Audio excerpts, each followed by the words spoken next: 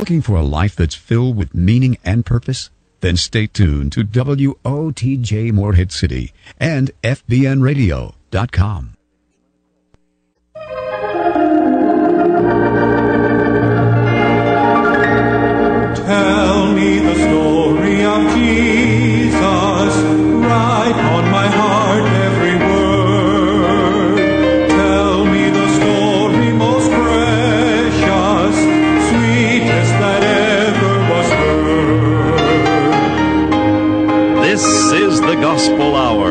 making known to this nation the gospel of Jesus Christ. Stay tuned for today's message that was preached and recorded by the founder of the Gospel Hour, evangelist Dr. Oliver B. Greene.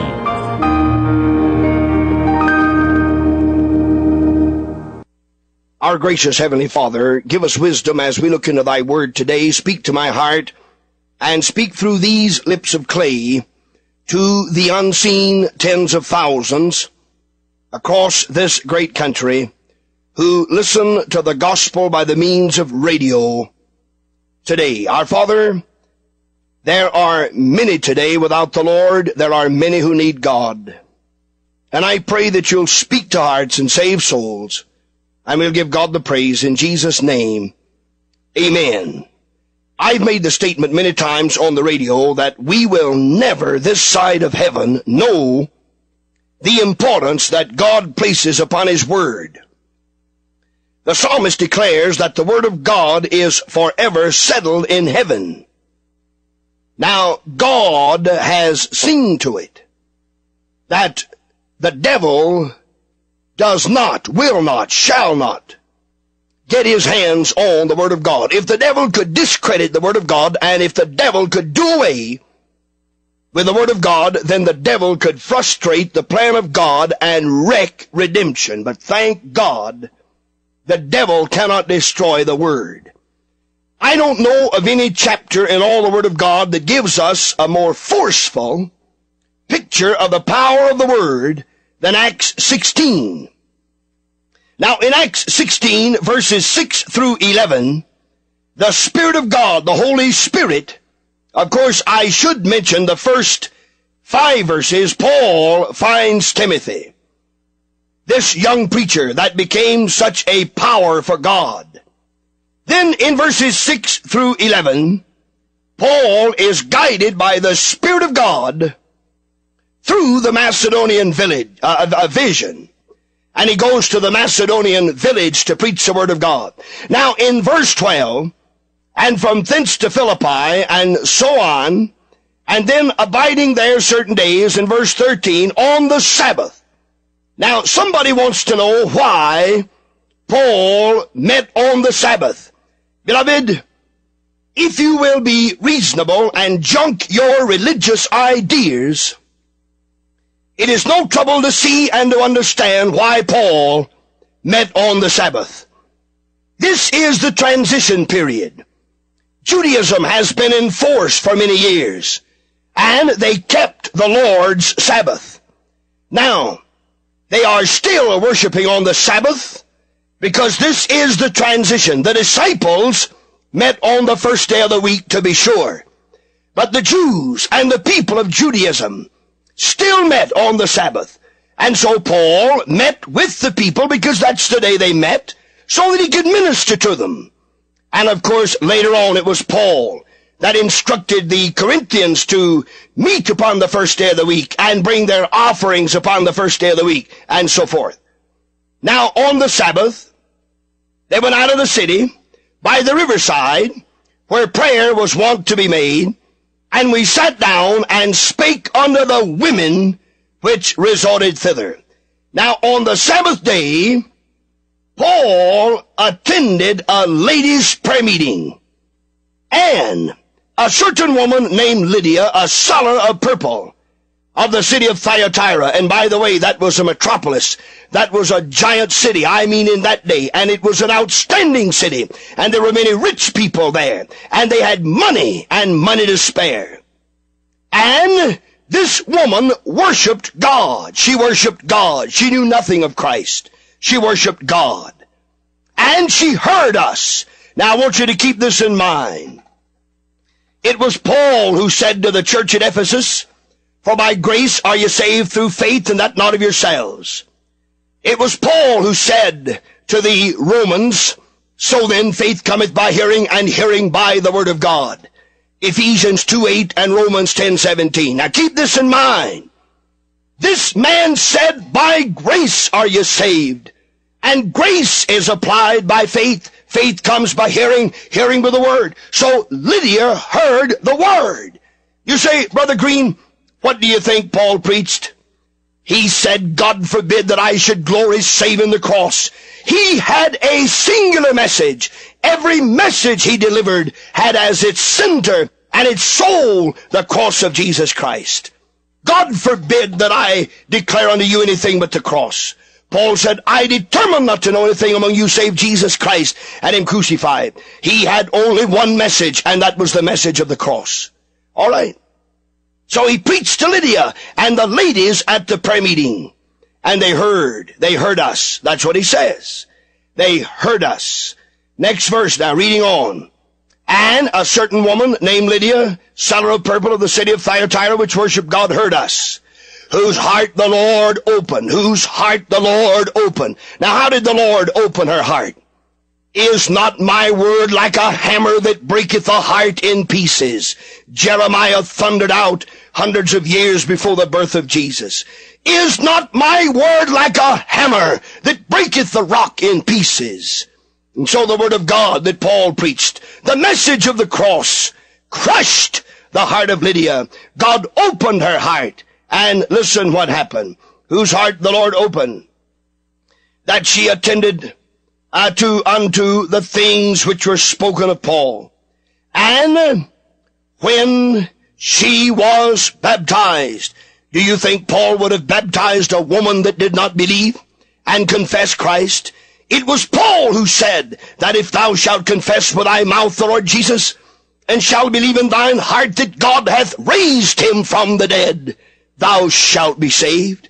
For with the heart man believeth unto righteousness, and with the mouth confession is made unto salvation.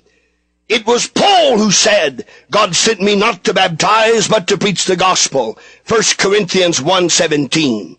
So, the only reason that the apostle Paul baptized Lydia, she believed, she received, she confessed, she was saved, and she asked for Christian baptism, and he baptized her.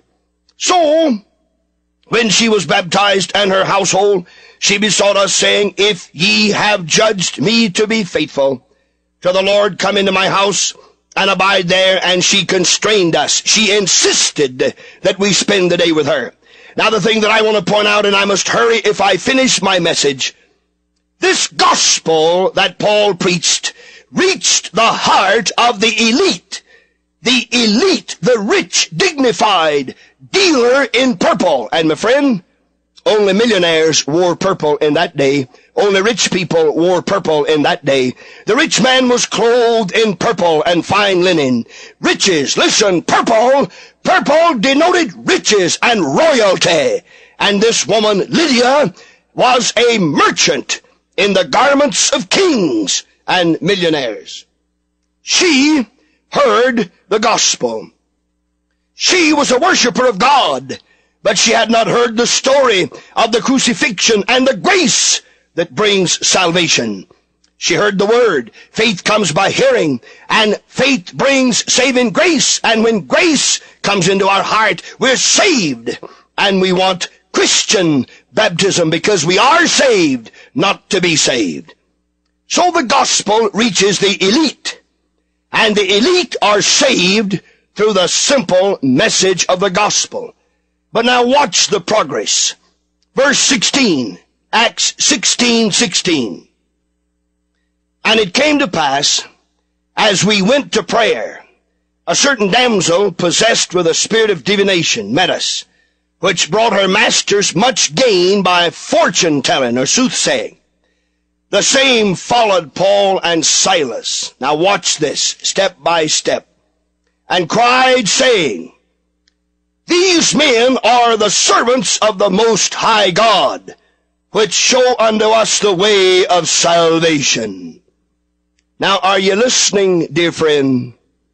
How in the world did this poor fortune-telling girl know anything about the way of salvation?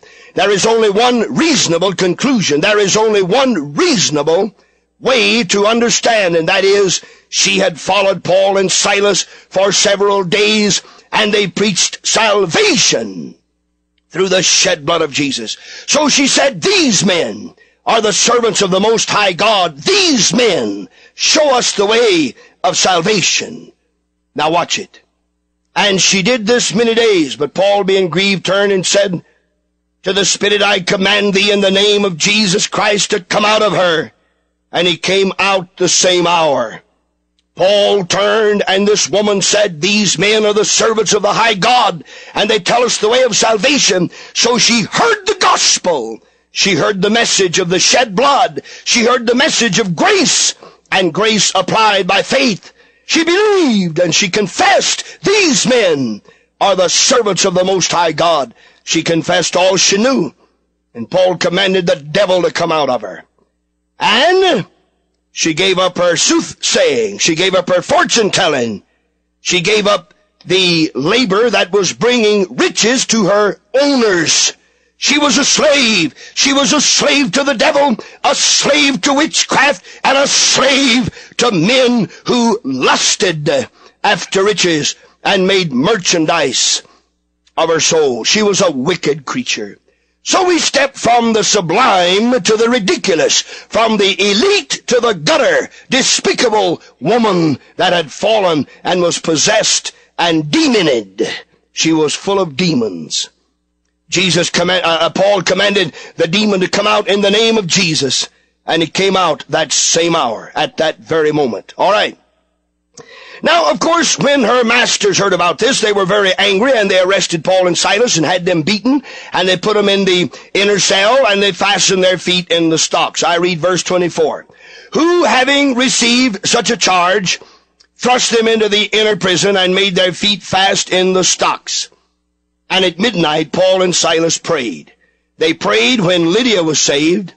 They were at a prayer meeting when the fortune teller got under conviction, and they're praying again. You want me to tell you something? I pray God you won't get mad. I beg you not to get mad. I implore you not to get mad. Please don't get mad. You know what's wrong today? We're having too many shindigs, barn dances, soup suppers, God bless you, blowouts, and feeds in the churches and not enough fasting and prayer. Mark it down. I challenge anybody uh, to prove that I've said an untruth and I've brought a false accusation. My friend, souls are saved when people pray. But when we feast and make gluttons of ourselves and sit around tables and crack jokes and laugh and sip tea and nibble on cookies, then talk about revival and wonder why it doesn't come. Revivals are not born in dining halls. Revivals are born in a prayer room, in the upper room, in the prayer meeting, when men intercede and break through and storm heaven with their prayers. There was a prayer meeting just before Lydia was converted. There was a prayer meeting just before the soothsayer was converted. There was a prayer meeting just before the jailer found God. Read it. Midnight prayer meeting.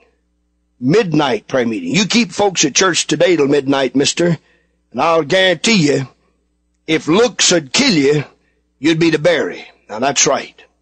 At midnight, Paul and Silas prayed and sang praises unto God, and the prisoners heard them. And suddenly there was a great earthquake, so that the foundation of the prison was shaken. And immediately all the doors were open, and everyone's bands were loosed, and the keeper of the prison, awakened out of his sleep, seeing the prison doors open, he drew out his sword, and he would have killed himself, supposing that the prisoners had been fled. But Paul cried out with a loud voice, saying, Do thyself no harm, we're all here. You don't have to lock up Christians. They'll stay put. You don't have to fence in Christians. Oh no, you don't have to fence them in, handcuff them. They, they walk straight. They know green pastures from garbage cans. Are you listening, kind friend? Christians know green pastures from garbage cans. You don't have to fence in sheep. They know the voice of the shepherd, and a stranger they will not follow. So, he called for a light. He came trembling. He sprang in. He sprang in. Came trembling.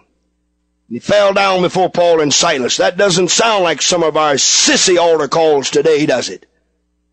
I'll repeat that. I said that doesn't sound like some of our sissy handshaking, smiling, vote them in, take them in, join us, line up with us, unite with us, come into our fellowship.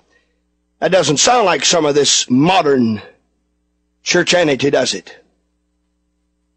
Then he called for a light. He sprang in. When I see a person come down the aisle, I like move like they mean business. I don't like to see them drag like they're a little bit sorry they started. I like to see them move on, move on to God. And he sprang in and he called for a light and he trembled, he trembled. Did you tremble when you made your decision? Did you tremble or did you just shake a preacher's hand and smile and say, I'd like to join? He trembled. He fell down. I believe in getting on your knees. There are cases where a person can't bow. There are cases where it's impossible for a person to get on their knees, but I'm going to tell you before God, I believe in getting on your knees. I do. I believe in bending your knee before God in prayer when you come to God for salvation. So he fell down and he said, Sirs, what must I do to be saved? And they said, Believe on the Lord Jesus Christ and thou shalt be saved. But wait a minute. How can a pagan who probably had only scarcely heard the name of Jesus, knew nothing about faith, knew nothing about the Word of God, knew nothing about redemption through the blood, how can he believe? And so verse 32 answers, And they, Paul and Silas, and they spake unto him the word of the Lord. They didn't give the latest report of the convention. They didn't give the latest Sunday school report, facts and figures. They spake unto him the word of the Lord, and to all that were in his house. He heard the word because he exercised faith. He believed, and I'll read it to you in just a moment, and he asked for Christian baptism. The word of God did it. Let me finish now, my time's gone. They spake unto him the word of the Lord and to all that were in his house, and he took them the same hour of the night, the same of baptizing at midnight. What do you know? They took he took them the same hour of the night, he washed their stripes and was baptized. He and all his immediately, straightway. And when he had brought them into his house, he set meat before them, and rejoiced, and rejoiced, believing in God with all his house believing in God. Believe on the Lord Jesus Christ and thou shalt be saved. Faith and believing are synonymous. You cannot separate them. Now let me show you the message so simple, down to earth, and yet so powerful and so true. Paul found Timothy. He saw the vision of Macedonia. He heard the Macedonian call. He went he met Lydia, and Lydia was attending a prayer meeting. He spoke to the ladies. He delivered unto the ladies the word of God, and Lydia believed, and everyone present believed, and he baptized them. So the gospel reaches the elite. And then he moved on to another prayer meeting, and a soothsayer, a poor girl, demoned, heard him for days, and she cried out, these men are servants of the Most High God. And Paul commanded the devil to come out of her, and she was saved, and her masters were very angry. Paul and Silas were thrown in jail, and they prayed at midnight, and the jailer was saved after he heard the word of God. Prayer preceded the conversion of Lydia. The word of God brought her faith. Prayer preceded the saving of the fortune teller. The word of God convinced her that these men were telling the way of salvation. Prayer preceded the conversion of the jailer. The Word of God gave him saving faith. Revival comes through prayer. Souls saved come through prayer.